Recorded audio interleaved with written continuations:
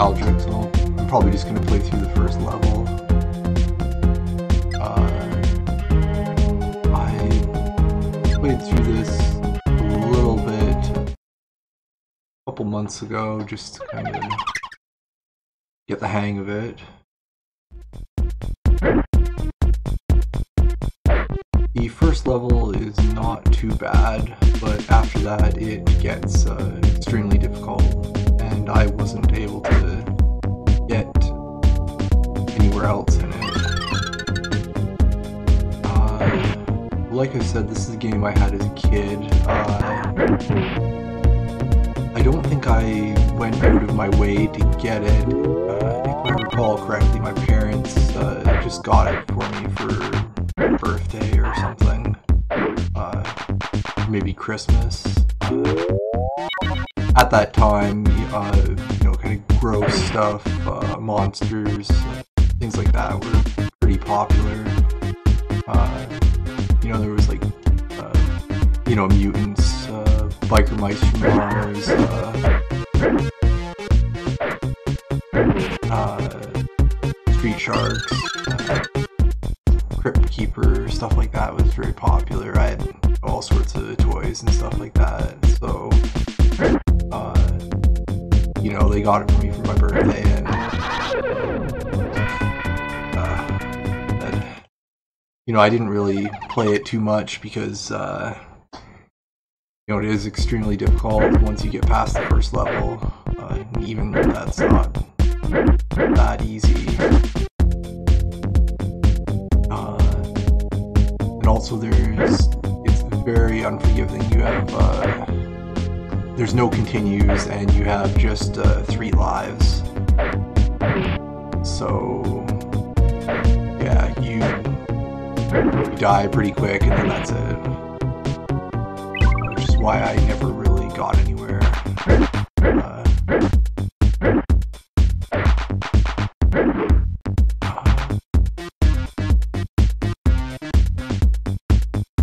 but yeah, it is. Uh, I guess it, the game looks okay. Uh, it plays okay. If it wasn't, if you had unlimited continues, something you know like uh, similar to maybe Ninja Gaiden.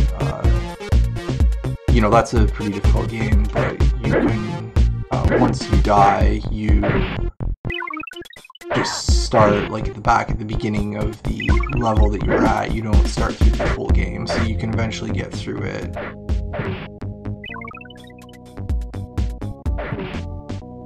but yeah, if you know if I can get through this level and get to the next, you'll see I'll, I'll just probably die over and over again.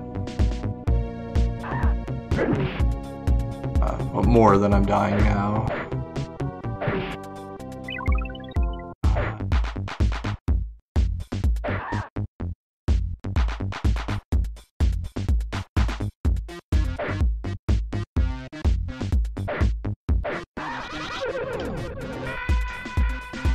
Oh, well, uh, so anyways, the point of the game is you're, if if I recall correctly, the uh, main character, Dr. Frankenstein's monster here, his girlfriend has been kidnapped and I think cut into pieces and scattered about the world.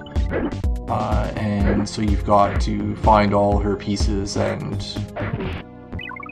I guess eventually you know, get the guy who kidnapped her, but uh, I've never really gotten that far. Uh, as a kid, I never beat the first level, but uh, when I played previously, I did manage to do that. Uh, when I was thinking about this game earlier, I thought, okay, this must be like a Metroidvania kind of thing. You know, you gotta go all around this map and get all our pieces, but it's unfortunately actually not. It's just a extremely difficult platformer. You beat levels one at a time, and you know you can get to the uh, exit there once you've collected all the pieces. Uh, I when I was playing earlier, I must have went to the other level because I am not recognizing this. Uh, yeah, the other level I went to was just covered in guys like you know flying in. They they shoot in from off screen and then kill you and. That's it. That's the game over. Uh, yeah, so that was pretty quick. Uh, so I don't really care for the game. I don't intend to continue with it. I just thought it was kind of a nice nostalgic thing to go through and kind of relive my childhood. Uh, as I said, I didn't really play this much. You know, I popped in once in a while, died a couple times immediately, and then uh, played, you know, Metroid or something instead. So. yeah, there's not really much else to say about it. Alright, I'll uh, probably play something else later. That was uh, pretty short.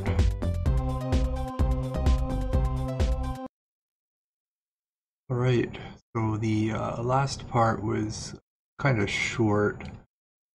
Figured I should probably record just a little bit more. Uh, off camera, I went and beat the first level again. I only died once this time, and I'm back at the map now. Uh, I actually just realized that the map is uh, the actual world map, not a fantasy land or anything. Uh, also, I noticed I that the during the first level you are collecting uh, the pieces of your passport. Uh, not sure a passport that has been uh, ripped into multiple pieces would be acceptable, uh, but uh, I guess he is also a green monster, so if that's okay, a ripped passport's probably okay. Uh, looking at the level, yeah, I never noticed this before, but it is the, the real world map with various locations. Uh, looks like you're starting in either Germany or Transylvania, I'm assuming, one of those two. Uh, I'm not particularly good at geography, but looking at the map, I think it is maybe closer to uh, Transylvania, but uh, I guess Germany would make sense too. Uh, the previous level I went to next would, I guess, be maybe Italy, somewhere around there. I guess that explains the knights and stuff. Uh, uh, I'll go to the UK there next, and as you can see, it's got uh, various uh, UK things. There's, if I recall correctly, guys on like mopeds and punks and stuff. Uh, but looking at the map, there's actually quite a few levels that I would be interested to go to, so I think I may actually possibly continue, maybe do like a infinite lives code or something.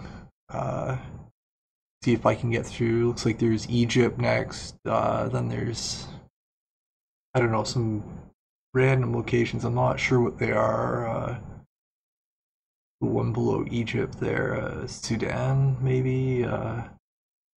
And over on the west, there's Sierra Leone.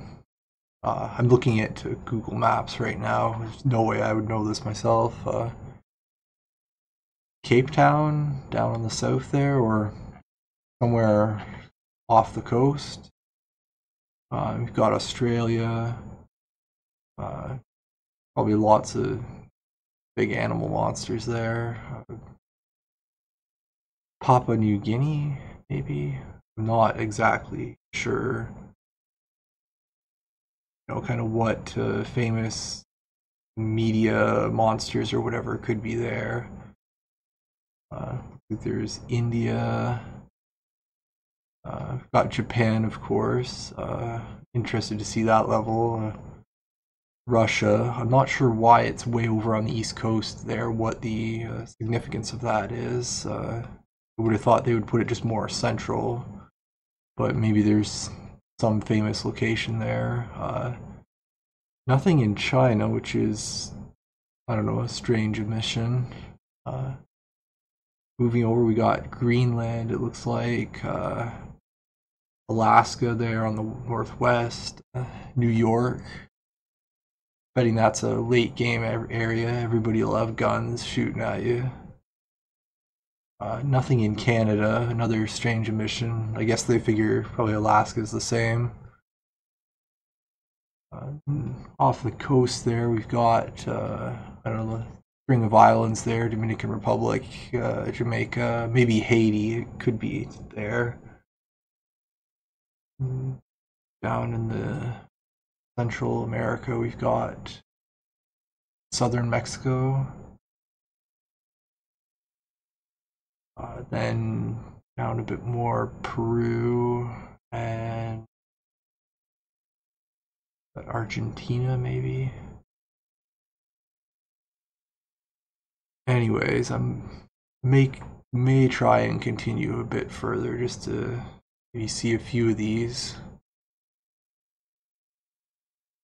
So now I'm going to go to a area and you will see what I was talking about before with the guys just swooping in from off screen just like that, just hitting you randomly all the time.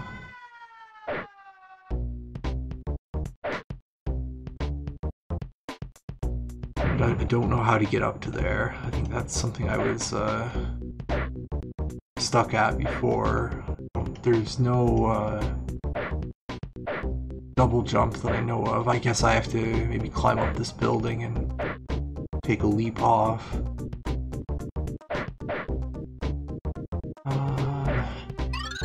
There's a other part, like maybe a part of an envelope.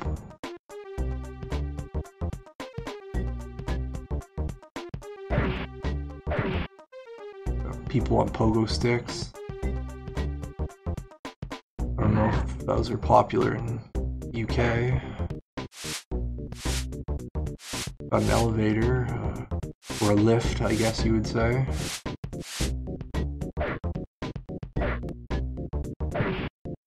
Here we got the, the Mohawk guy with the jukebox. Ah, loads.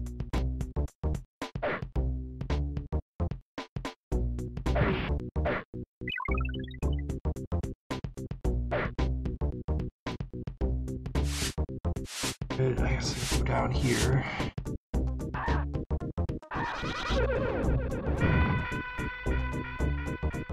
Alright, I got killed by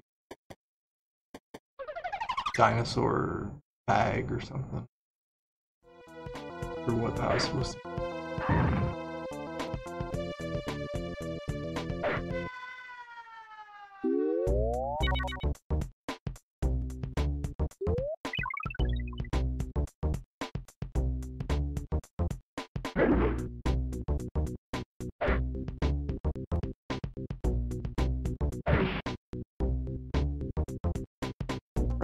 There's a hidden life here. I just have to, uh, I get that.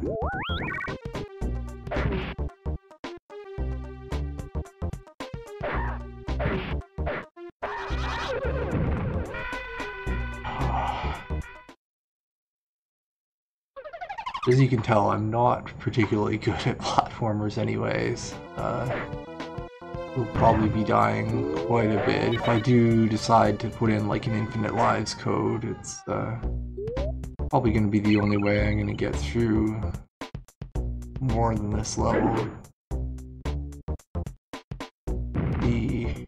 Okay, yeah, that extra life did not respond, so that would be kind of nice, but...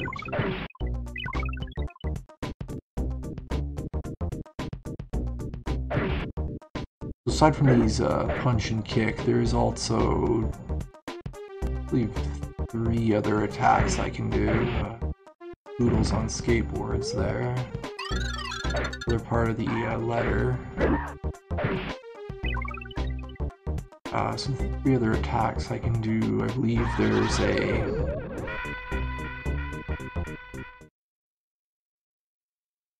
Oh, game over already.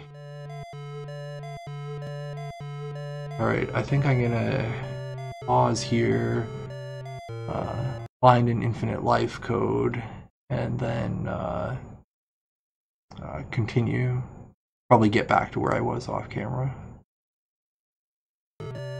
Alright, so I did uh, actually put on the Infinite Live and Infinite Health code, and then uh, I went through the UK uh, level there, and then went to the Greenland level, I believe, but uh, I just died way, way too much. I was, you know, dying, you know, every minute or two.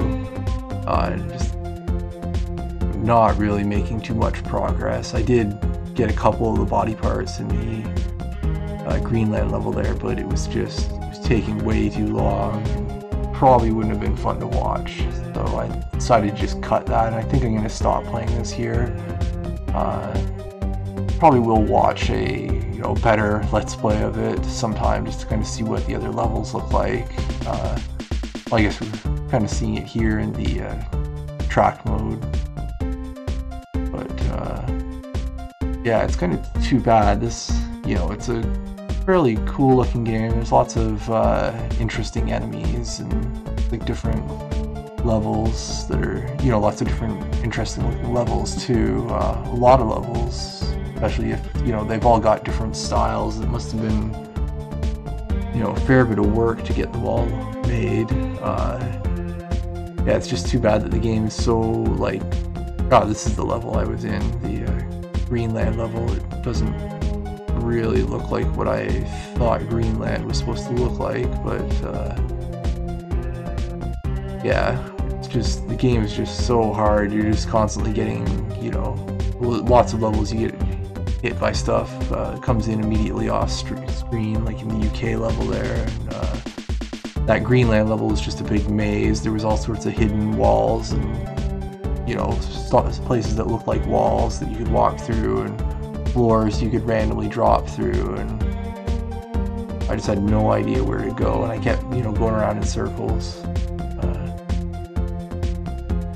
Know, it's pretty close to being a really good game. It's just, you know, the you know, the insane difficulty. But I think I'll probably play something else soon. Alright. Well, I guess that was fun, just to kind of see a bit more of the game. Uh, I think uh, younger me was made the right choice and not really playing it too much. Uh, there are a lot better games on the SNES. Uh, there's not many worse games on the SNES actually. Uh, I think I had a pretty good selection when I was a kid. Uh, well, not many games, but uh, I had a lot of the better ones. Uh, I might talk about some other time. I guess that's it for the adventures of Dr. Franken.